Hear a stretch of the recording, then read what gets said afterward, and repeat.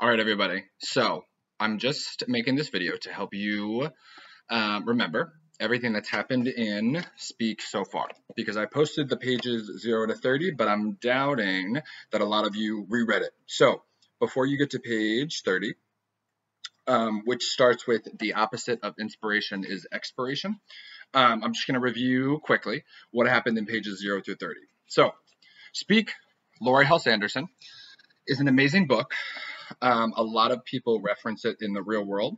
It was written in 1999, so about 20 years ago, still very relevant. We've got this chick named Melinda. Um, she goes to Merryweather High School. Um, mom works downtown. I believe she's a store manager, and dad does not talk to her much. Um, so Melinda is new to town. She's a new chick at school.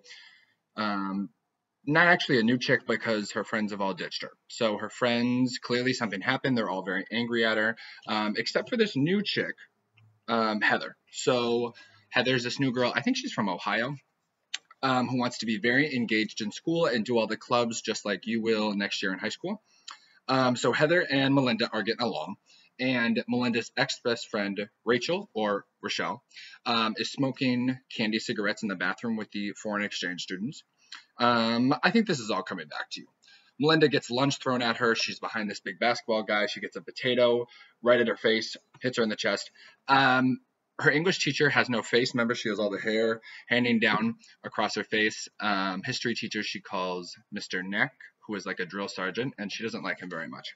However, she loves her art teacher, Mr. Freeman, and she gets a project that she has to make the entire year, um, and she picks the word tree out of the globe. So she has to work on the tree the whole year and make it out of paper mache, draw it, do whatever she has to do. Um, I'm looking at my notes because I had a lot.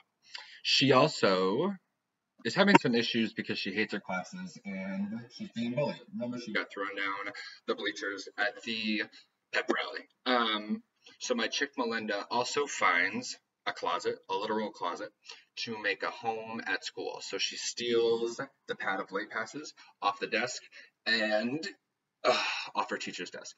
And she just is going to write herself late passes to class and stick around in her closet, which you should not do because then you're going to miss all the amazing material in high school. So again, she gets pushed down the flight of stairs. That's where we ended. And this chick is so angry at her because they were at a party over the summer and her brother got arrested because Melinda called the cops. But nobody knows why we called the cops. So I'm on page 30. If you would like to read this solo, you can absolutely do that. Um, I'm also going to post an audiobook because I know that you miss my voice and you miss my face.